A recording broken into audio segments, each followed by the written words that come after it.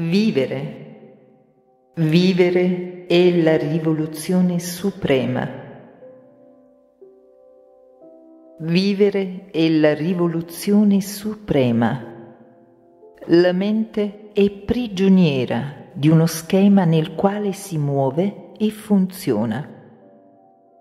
Vivere è la rivoluzione suprema.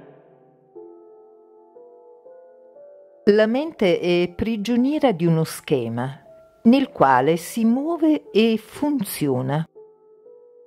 Questo schema, che racchiude l'esistenza stessa della mente, è fatto di passato e di futuro, di speranza e di disperazione, di confusione e di un ordine utopistico oscilla continuamente tra quello che è stato e quello che dovrebbe essere.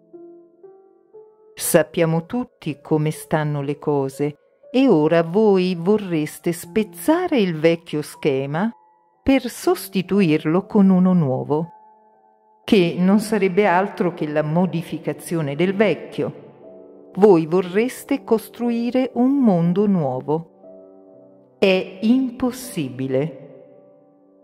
Naturalmente potete ingannare voi stessi e gli altri, ma finché il vecchio schema non sarà completamente distrutto, non potrà esserci alcuna vera, profonda trasformazione.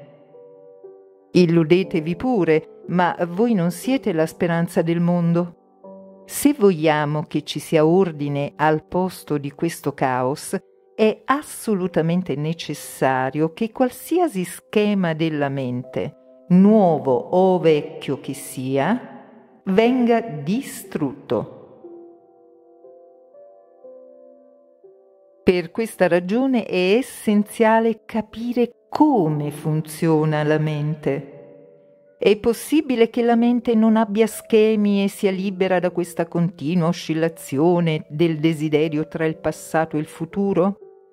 Certamente che è possibile. Significherebbe vivere ora, nel presente. Vivere davvero implica non avere speranza, non avere la minima preoccupazione del domani, il che non significa vivere nella disperazione o nell'indifferenza.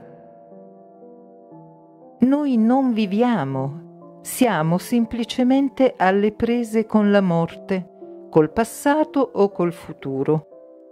Vivere è la rivoluzione suprema. Per vivere non c'è bisogno di schemi.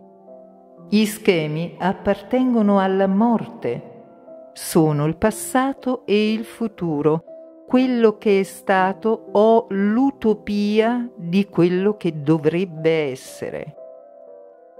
Voi vivete nutrendo utopie, così invitate la morte, non la vita.